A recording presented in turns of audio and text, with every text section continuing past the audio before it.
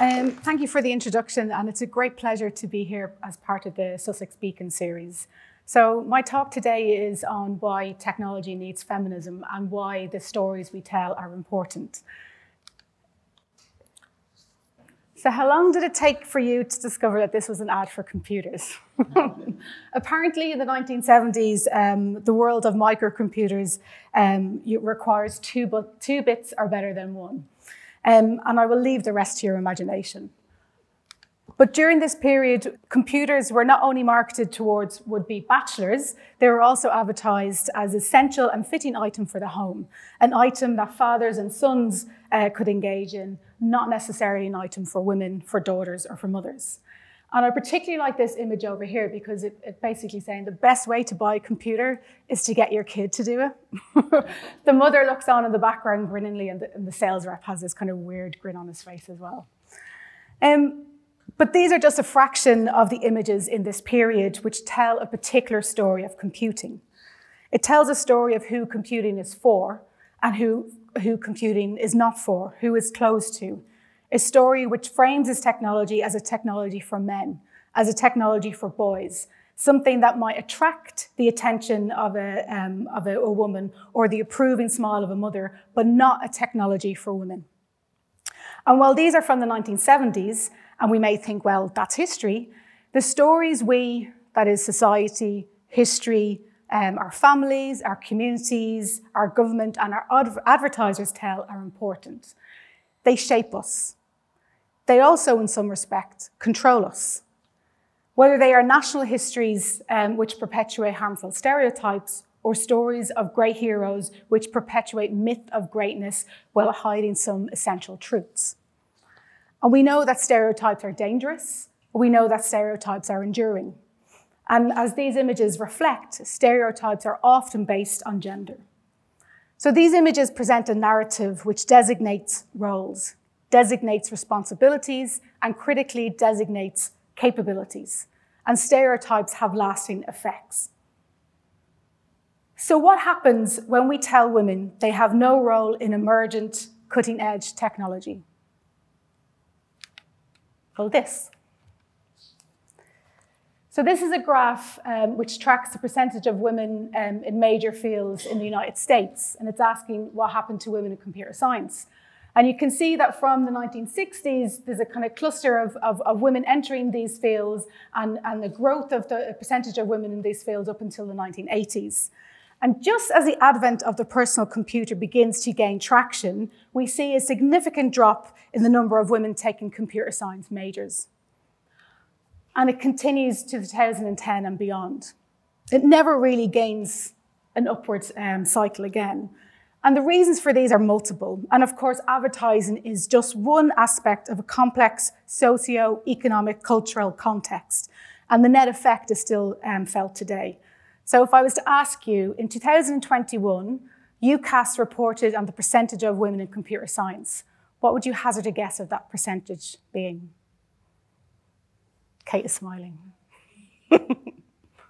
5%. Not as bad as that. 17%, which I think is significant when you think about, you know, the, the dip and where it's going. It isn't moving, okay? And so given these stats, who then is surprised of technological, algorithmic, and AI bias? Who is coding and for who?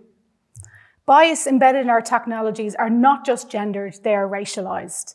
They are classists, they are ableist, and they reflect, as Ruha Benjamin writes, the cultural, political, and legal codes of society.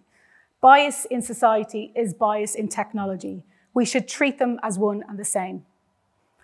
There are plenty of examples of technological bias. We know it exists, yet often we don't know the full implications until much later in the life cycle of a system or of a project.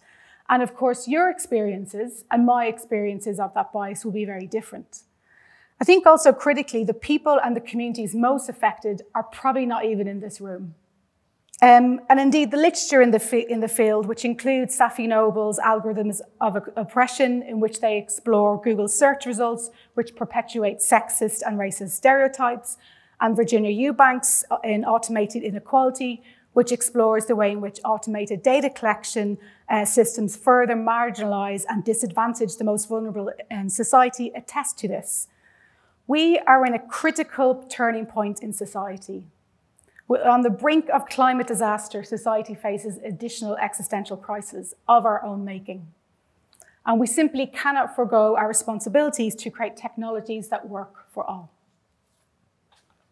And in this respect,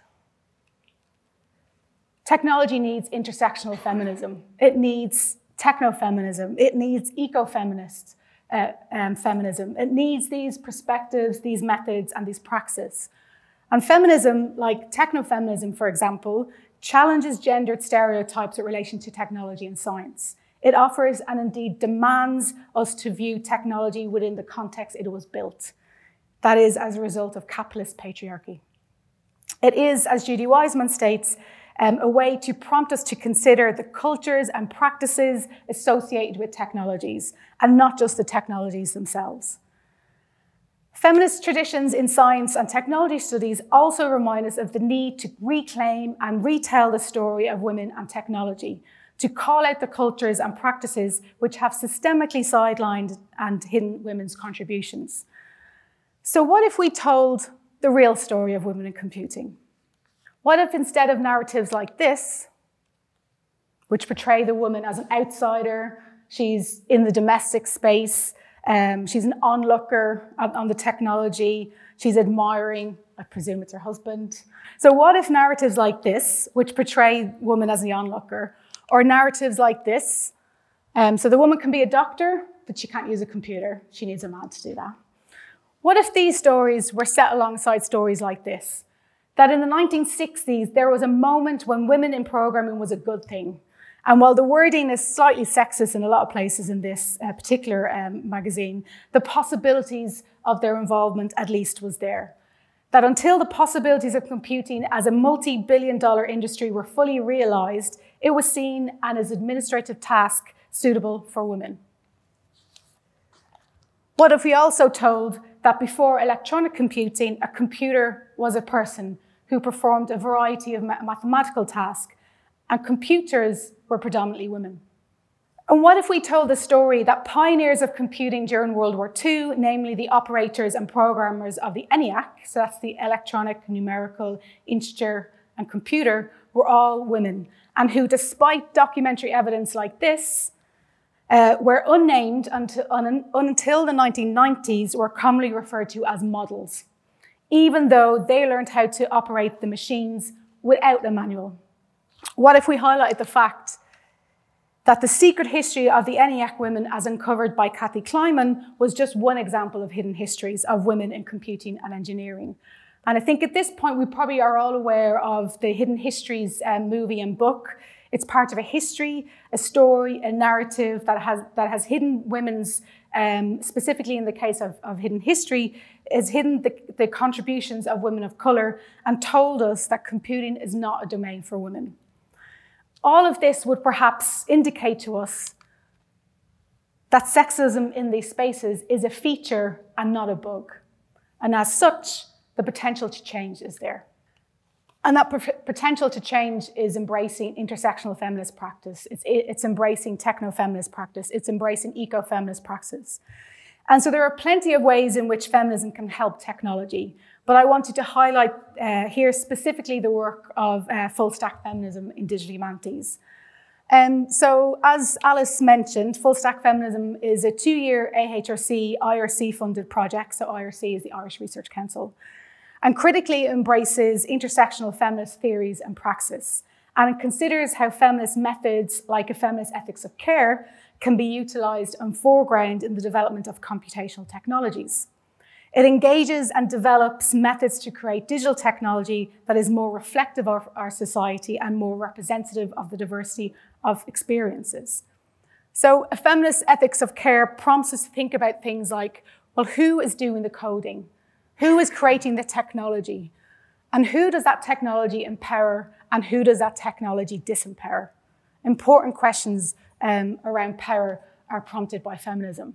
It also prompted us to think about who is writing the code. In that sense, whose values, whose bias do they reflect? Can we or can you give agency or empowerment to different voices within that space? Um, and there's a great quote from Ruha Benjamin who says, users get used. So how are we, in building these systems, whatever that is, how are we protecting the interests of marginalized voices? How are we protecting the interests of these concerns? Um, we can also think about you know, how we collect data. How is that mandated and when is it a choice? In particular, I'm kind of, for the work that I do around gender and archives, a particular thing around ethics of care is that language matters. Language can hurt, words hurt. So what about breaking from the binary, hacking the systems? thinking about outside the kind of binary uh, negotiations of gender and binary negotiations of um, identity.